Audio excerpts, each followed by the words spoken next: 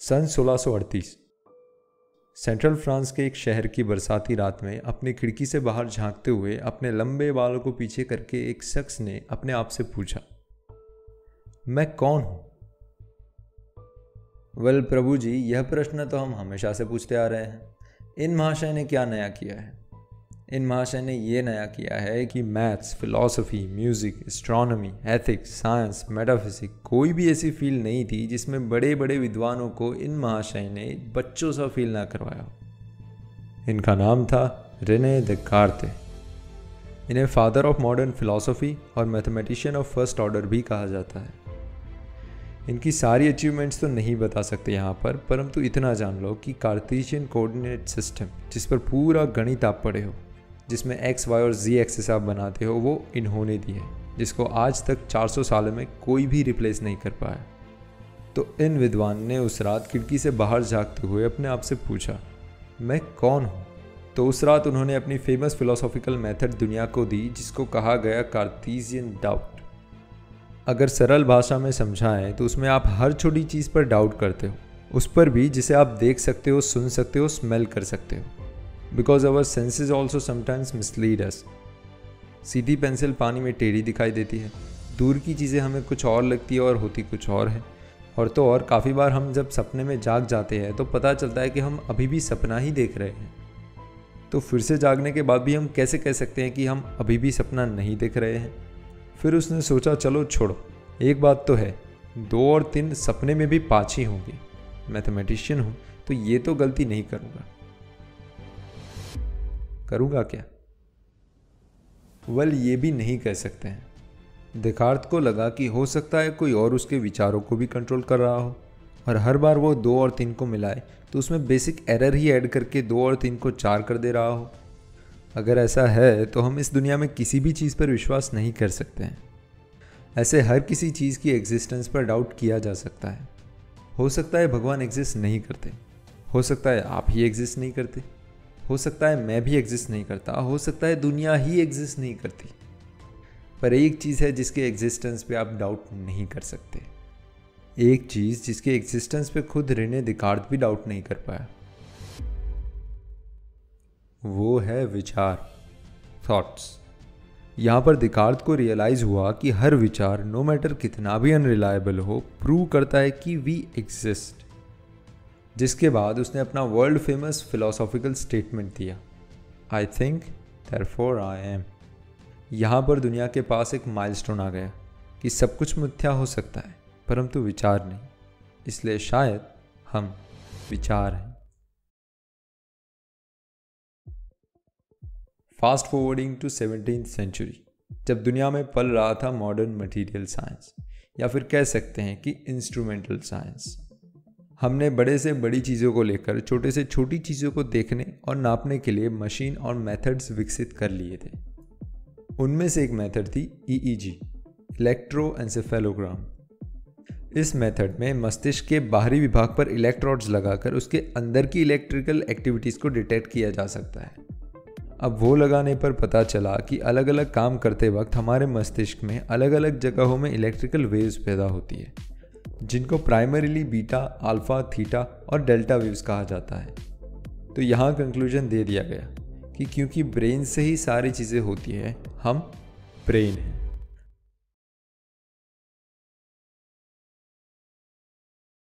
अरे अरे, रुको, इतने भी क्या जल्दी है? इन्हें देखो। पता है ये कौन है? Coma patients. In other words, brain dead people. तो जब रिसर्चर्स ने ईईजी e को इन कोमा पेशेंट्स पे लगाया तो पता चला कि देर आर नो वेव्स परंतु भाई तो जीवित है। हार्ट बीट चालू है, नाखून बढ़ रहे हैं, बाल बढ़ रहे हैं। तो क्या सच में दिमाग ज़रूरी है? क्या प्रभु जी, कैसे पागलों वाला सवाल कर रहे हो? वेल इस पागल वाले सवाल पर पूरी साइंटिफिक थीसिस की गई है। Roger Lewin a British prize winning science writer, author of 20 plus books and hundreds of science articles. उन्होंने अपने आर्टिकल में ब्रिटिश न्यूरोलॉजिस्ट जॉन लॉर्बर्ट के थीसिस के बारे में बताया। डॉक्टर जॉन लॉर्बर्ट के यहाँ बिना ब्रेन के बच्चे भी आए हुए हैं जो मिस्टीरियसली कम्प्लीटली नॉर्मल थे। खाते थे पीते थे खेलते थे पढ़ते थे और अपनी क्लास में फ़र्स्ट भी आते थे। किसी भी प्रकार का कोई एबनॉर्मल बिहेवियर नहीं था। फिर उनके पास ऐसे भी पेशेंट्स आए थे जिनका एक्सीडेंट में ईजा के कारण ब्रेन का बड़ा भाग जान के जोखिम पे भी निकालना पड़ा था। अब डॉक्टर ने बोला कि ब्रेन के उस विभाग में होने वाली सारी शारीरिक प्रक्रिया शायद बंद हो जाएगी या फिर बाधित हो जाएगी। बट सरप्राइजिंगली वह पेशेंट ऑपरेशन के तुरंत बाद सब कुछ सही से करने लगा। That too without any hindrance उन्होंने पहले सोचा था कि शायद बचा हुआ कोर्टेक्स समय के साथ रिस्पॉन्सिबिलिटी अडेप्ट कर लेता होगा। परंतु उसके लिए भी सिग्निफिकेंट अमाउंट ऑफ़ टाइम चाहिए होता है। पर इस केस में ऑपरेशन के तुरंत बाद पेशेंट सब काम करने लगा था तो इससे अब तक की सारी ब्रेन थियरीज गलत प्रूव हो जाती थी। यहाँ तक कि कुछ बच्चों के दिमाग का साइज़ 0.5 मिलीमीटर से भी छोटा था। प्रैक्टिकली उनको भेजा था ही नहीं। परंतु सरप्राइजिंगली उस बच्चे का आईक्यू नॉर्मल बच्चों से भी ज़्यादा था। इसीलिए रॉजर लुविन ने उस आर्टिकल का नाम दिया था is your brain really necessary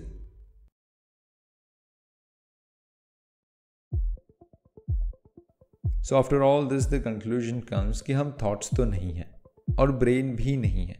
तो अब एक और ऑप्शन रह जाता है, वो है हृदय।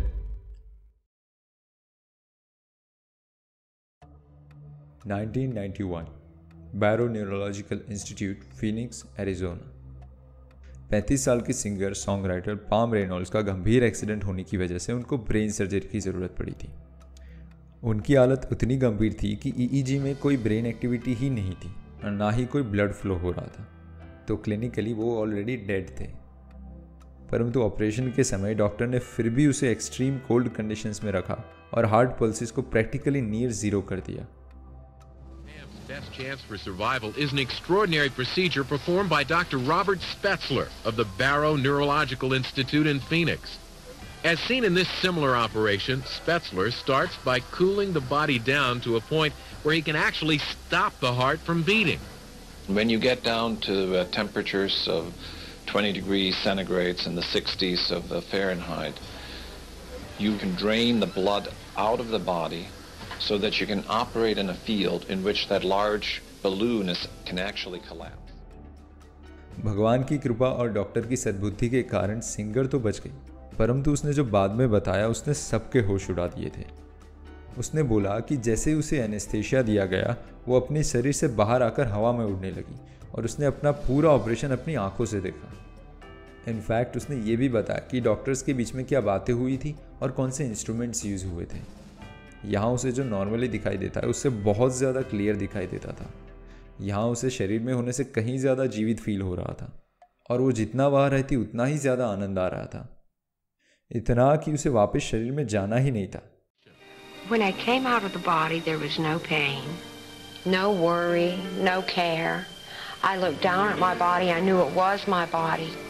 I didn't like looking at the body. That bothered me. But it was a wonderful, wonderful feeling to be free of it. ऐसे एक्सपीरियंसेस को आउट ऑफ़ बॉडी एक्सपीरियंस या फिर नियर डेथ एक्सपीरियंस कहा जाता है और ऐसे हज़ारों केसेस डॉक्यूमेंटेड हैं, परंतु मेन स्ट्रीम साइंस कभी भी इन केसेस को फ्रंट में रखकर नहीं चलती है। क्यों? तो इसके सिवा भी बहुत सारी ऐसी साइंटिफिक मिस्ट्रीज है क्वेश्चंस है, जिसका आंसर साइंस बिना सोल के एक्सेप्टेंस के नहीं दे सकता है।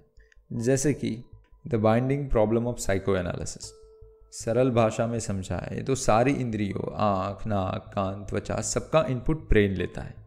पर उसको सिंक बाइंड और प्रोसेस कौन करता है? दूसरा प्रॉब्लम है इन्वर्टेड इमेज प्रॉब्लम आप सबने ये नौवीं, दसवीं में पढ़ा होगा कि हमारी आँख की कॉर्निया इमेज को इन्वर्ट करके हमारे आँख के पीछे के पर्दे पर फेंकती है। तो हमें सब सीधा क्यों दिखाई देता है? उस इन्वर्टेड इमेज को प्रोसेस कौन करता है? तो मटेरियल साइंटिस्ट जिनको ये बात पता नहीं है, वो इस फिनोमिन को अलग अलग नाम से बुलाते हैं। जैसे कि ghost in the brain psyche particle intellect being et cetera et cetera और जिन्हें पता है वो उसे कहते हैं आत्मा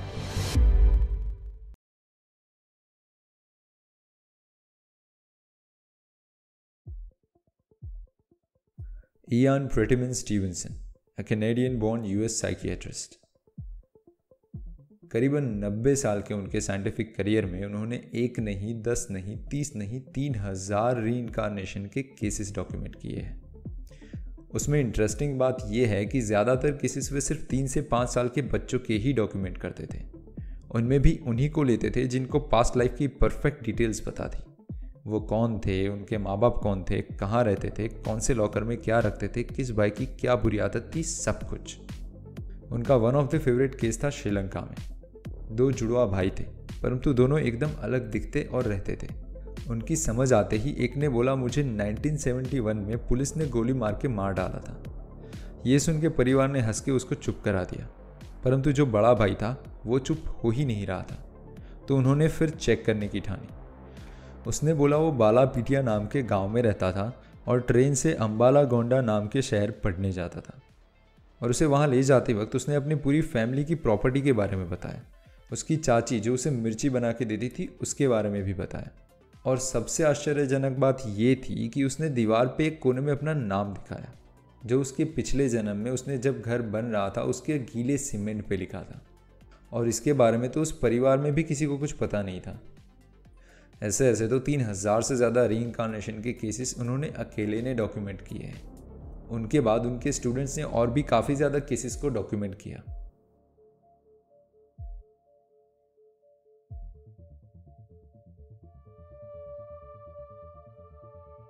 Listen, he knows a lot, huh? Everything. Also, some planes have a ram air turbine. A ram air turbine, Adam? Yeah. And what does that do? It gets emergency systems back on if the engines fail. Okay. Then the ram air turbine can help to bring back the systems. To bring back the systems to, to control the aircraft. Yeah. But due to the no engine power, the landing gear doors will not come up. Okay. Okay. After that, they, you have to do something else to lower the flaps. Oh, you have to do something else to lower the flaps? Yes. Okay. You have to lower them by gravity alone. Okay. Okay. You have to drop the gear by gravity alone. Uh huh. And if you have no hydraulics and your plane is banking right, you reduce the engine, you reduce engine one and increase two. Okay. Then the plane will go level again. Oh, wow. It's called asymmetrical power, yeah? Yeah. How old are you? A five years, 11 months. Get out of here. Really? No way. I don't let me kiss Bless you. Bless you. You're so smart. My God, you Bless will be you. like, what you gonna do actually when you grow Mashallah. up? Not pilot, but what you what do you No. wanna be? I will be a captain, Yes. just like you. Yes. Better than me. Better than me, yeah? Yeah, I can't wait to fly with you. Will you remember me? yeah, You will? yeah. What's Okay. your name? Sammer. Summer. Sammer, will you remember that? Okay. I need to meet your parents. All right? Shall we go? Yeah, the flight engineer can tell the pilot if all hydraulic systems are down to zero. Oh, wow. He can let them know, right? Yeah, Yeah, but now we don't need a flight engineer. yeah. We have the uh, ECAM, which you probably know about. Well, the TCAS can tell Oh. if there is an impact coming. okay. One will tell to climb, and one will tell to descend. Oh, wow. That's what? What's that? What's that system called? It's called TCAS. TCAS. Wow. Do you know Good stuff. TWS? More power meant to climb. Uh huh. Less would result in a dive and crash. Oh, wow. Wow. We don't want to do that, do we? Yeah. Okay. I could see the flaps lower in the air. Oh, you saw that? Yeah, Oh, wow. Can I meet your parents? yeah. Let's go. You're something else. Bless you. और इन सबको अगर side में भी रख दो तो कुछ साल पहले जब मैं खुद हिच करके गाँव में घूमता रहता था, तब मुझे भी ऐसे बहुत सारे लोग मिलते थे, जिनके खुद के परिवार में ही ऐसे बच्चे हुए होते हैं। परंतु यह बात ज़्यादातर बताई नहीं जाती, क्योंकि पास्ट लाइफ याद होना वो कुछ अच्छी बात नहीं मानी जाती। वो बहुत ही इनऑस्पिशियस माना जाता है। तो ये तो हुआ मानवों के लिमिटेड परसेप्शन से मिला हुआ नॉलेज अब हमारे शास्त्र, आत्मा के बारे में क्या ज्ञान देते हैं, इसके बारे में हम अगले वीडियो में बात करेंगे। तो आत्मा को लेकर आपको जितने भी क्वेश्चंस हो डाउट्स हो, वो सब आप नीचे कमेंट में लिख दीजिए। हम इसी सीरीज़ में उन सबका आंसर देने का प्रयास करेंगे। और अगली वीडियो में हम शास्त्र से वो जानकारी देंगे कि आत्मा शरीर में कैसे आती है, वो कहाँ रहती है, शरीर कैसे चूज़ करती है, उसकी ताकत कितनी है क्या क्या कर सकती है, सिद्धियाँ प्राप्त कैसे करती है, काम कैसे करती है, वो सब कुछ। तो मिलते हैं अगली बार आत्मा का पार्ट टू लेकर। तब तक तब तक क्या? दाल रोटी खाओ और हरी गुण गाओ।